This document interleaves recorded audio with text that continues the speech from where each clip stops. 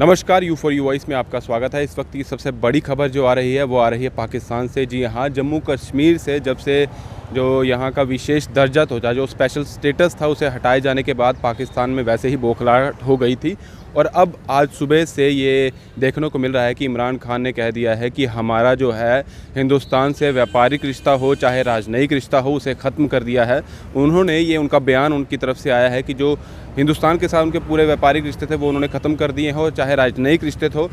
वो भी उन्होंने ख़त्म कर दिए हैं हिंदुस्तान के साथ। और उसके साथ ही जो हिंदुस्तान कर वहाँ पर दूतावास के जहाँ वहाँ पर जो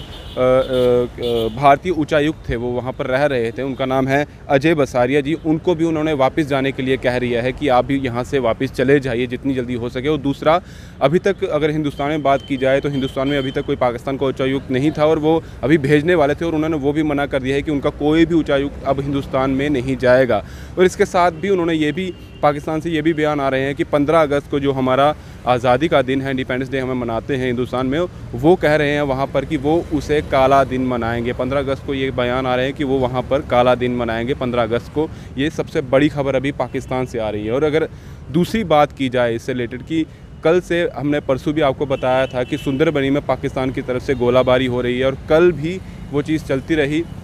सीज़ फायर का उल्लंघन उन्होंने कल भी किया। इन चीज़ों से बाज नहीं आ रहे हैं, उसके साथ ये भी कह रहे हैं। और दूसरा, उन्होंने ये भी कहा कि इस चीज़ को लेकर जो 370 का हटाने का मामला है, इसको लेकर वो जो है यूएन में जाएँगे। यूएन में इसके लिए एक अपील दायर करेंगे 370 को लेकर जो जम्मू कश्मीर से जो स्पेशल दर्जा था उसको हटाया गया है। और दूसरी बात अगर हम करें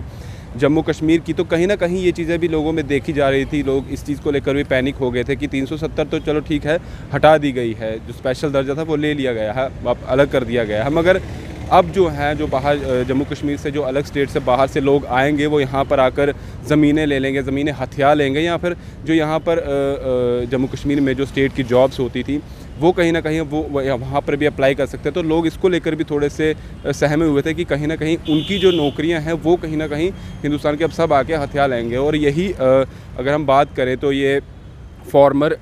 डिप्टी सीएम जो निर्मल सिंह जी हैं, प्रोफेसर निर्मल सिंह जी हैं, उन्होंने ये कहा है कि ऐसा कुछ नहीं होगा, पैनिक होने की ज़रूरत नहीं है। कहीं ना कहीं जो है कि सेंटर की तरफ़ से ये प्रस्ताव भी लाया जा रहा है कि जो भी बाहर से जो लोग आएँगे यहाँ रहने के लिए, जो यहाँ पर रहने आएँगे, अपना घर बनाने आएँगे या जॉब से रिलेटेड यहाँ आएँगे, जॉब में अप्लाई करने के लिए आए, उन्होंने कहा है कि सेंटर की तरफ़ से ये प्रस्ताव भी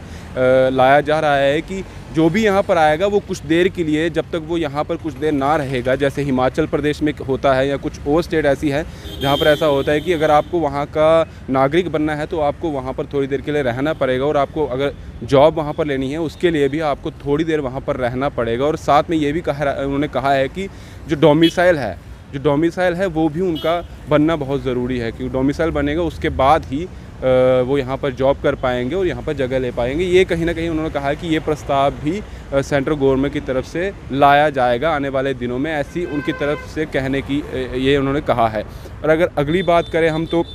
अगली बात है जैसे कि आपने देखा कि महबूबा मुफ्ती का भी कहीं ना कहीं बयान आया है कि कश्मीर में इंटरनेट सेवा बंद है और फिर भी उन्होंने कुछ ऐसे इंटरनेट के ज़रिए उन्होंने कुछ ऐसा कहा है कि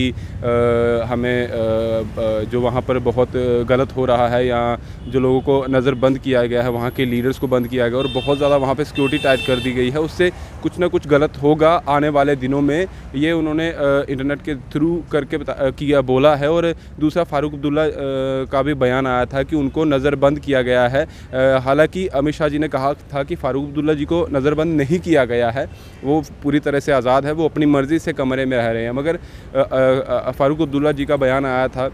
जब वो अपने कमरे से बाहर आए थे, जब रूम से वो होटल की तरफ़ जा रहे थे, उनका ये बयान आया था कि नहीं, मैं नज़रबंद हूँ। मुझे घर में नहीं, मुझे मुझे भी हाउस अरेस्ट किया गया है, ये फ़ारूक अब्दुल्ला जी ने कहा था। और ये देखते हुए जो है कि जो उनके सिक्योरिटी गार्ड थे, क्योंकि उन्होंने बाहर आके ऐसा बयान दिया और उनके जो सिक्योरिटी गार्ड्स थे जो मतलब सिक्योरिटी में लगे हुए थे, चाहे वो उनके सब इंस्पेक्टर हों या जो उनके साथ जवान तैनात थे, उनको प्रशासन की तरफ़ से उनको उनकी ड्यूटी से हटा दिया गया है कि उन्होंने बाहर आके ऐसा बयान क्यों दिया। उनकी, उनको अगर सिक्योरिटी में रखा गया है तो उनको बयान नहीं दे, उनकी जो सिक्योरिटी थी, उसे हटा दिया गया है और दूसरा महबूबा मुफ्ती के साथ भी ऐसा ही हुआ है। महबूबा मुफ्ती जब आ, उनको जब शिफ्ट किया गया हरी निवास खट में उनको शिफ्ट किया गया प्रशासन की तरफ़ से हाउस और तो वह है ही उनको वहाँ किया गया और वहाँ पर एक उनके साथ जो डीएसपी उनके साथ नियुक्त किए गए थे उनकी तरफ़ से ये बयान आया। उन्होंने ये कहा है कि जो उनके रहने का बंदोबस्त किया गया है, वो कोई दर्जे का नहीं है, वो वो उस दर्जे का नहीं, जिस दर्जे का होना चाहिए, जो सहूलियत उनको मिल जाए, वैसी नहीं मिली है। ये डीएसपी उनका नाम है, बता दूँ, शौकत भट्ट उनका नाम है, उन्होंने ये बयान दिया था, और उनको भी ऐसे बयान देने के लिए उनका उनको जो है, उनकी जो सिक्योरिटी से उनको हटा दिया गया है जो उनका नाम था, शौकत भट्ट, ये डीएसपी थे जो उनके साथ अभी तक तैनात थे। अब उनको भी हटा दिया गया है और उनको ये भी कहा गया है कि उनको महबूबा मुफ्ती को जो इंटरनेट एक्सेस करने के लिए उन्होंने प्रोवाइड किया था, इसके लिए भी उनको हटा दिया गया है क्योंकि जो, जिनको हाउस अरेस्ट किया गया है और कश्मीर में वैसे भी जो है इंटरनेट सेवा बंद है, किसी को भी इंटरनेट यूज़ करने की इजाज़त नहीं है, चाहे वो इलीगली ही करना हो या लीगली करना हो, उनकी इजाज़त नहीं है किसी को भी। और अगली खबर की बात की जाए तो आज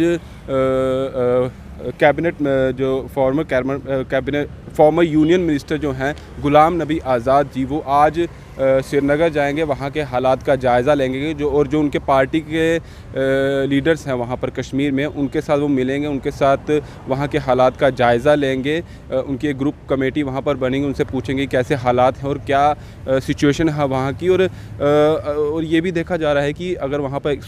लगी हुई है, कर्फ्यू अगर लगा हुआ है तो वो कैसे इस सिचुएशन में वहाँ जाएँगे और उन वहाँ के लोगों से, उनके लीडर के साथ बात करेंगे, क्योंकि ये भी कहीं ना कहीं वहाँ पर कुछ गलत चीज़ों को अंदेशा हो सकता है, लोगों को भड़काने की चीज़ हो सकती है, इससे भी लोगों को कहीं ना कहीं उनका साथ देने, बाहर आने के लिए और भड़काऊ कुछ ऐसी चीज़ हो सकती है और प्रशासन ये भी देख रहा है कि कोई भी ऐसी सिचुएशन क्रिएट ना हो, चाहे वो अगर जा रहे हैं कश्मीर तो जाए बट ऐसा कुछ भी वो क्रिएट ना करे जिससे कि वहाँ के हालात ख़राब हो। जैसा कि आपने कल भी देखा था कि जो चौधरी लाल जी हैं डोगरा सदर सभा संगठन के जो लीडर हैं, उनको जो था कल हाउस अरेस्ट कर दिया गया था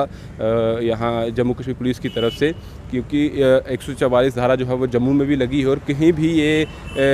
जो लोग हैं, बाहर जो है सभा करने की किसी को भी इजाज़त नहीं है। इसी सभा के लिए वो कल आने वाले थे शाम को और इसको एहतियातन सिक्योरिटी के तौर पर उनको जो है उनके घर में नज़रबंद कर दिया गया था जम्मू कश्मीर पुलिस की ओर से। ये अभी तक की जो जानकारी हमें मिली है हमने आपके साथ साझा किया। आगे जो भी जानकारी हमें मिलती है इससे रिलेटेड तो हम आपके सामने होंगे। हमें दीजिए इजाज़त और देखते रहिए यू फॉर यू वाइस